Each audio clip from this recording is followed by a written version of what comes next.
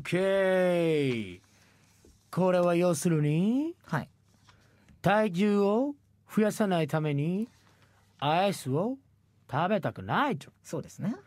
アイスを食べるとカロリーが増えて太っちゃうと。そうですね。ってことはアイスを食べてうん。太ったらうん。太った分はいはい。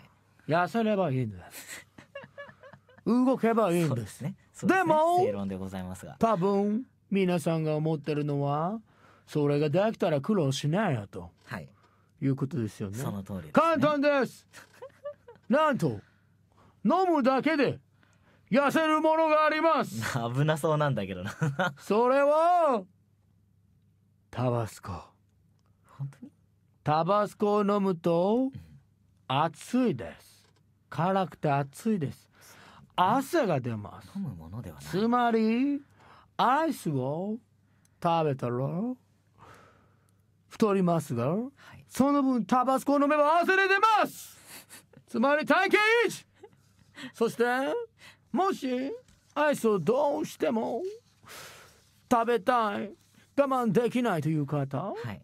アイスを食べた後にタバスコを飲んで汗で消費してもらってもいいですけどアイスに直接タバスコをかけて食べたら一石二鳥です。絶対カッキン絶